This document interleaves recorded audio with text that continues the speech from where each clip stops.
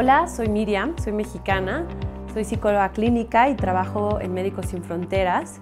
He estado colaborando en los proyectos de Ucrania e Irak eh, como responsable de las actividades de salud mental. He estado trabajando con poblaciones de refugiados y desplazados, en donde brindamos atención individual, así como sesiones grupales. Bueno, en este tipo de poblaciones eh, encontramos distintas problemáticas muy diversas, como por ejemplo eh, víctimas de tortura, la violencia de género, eh, violencia sexual, entre muchas otras que este tipo de poblaciones al verse forzadas a, huir de sus hogares tienen que enfrentar día con día. Para mí, trabajar en Médicos Sin Fronteras ha sido una experiencia sumamente enriquecedora, tanto en lo personal como en lo profesional.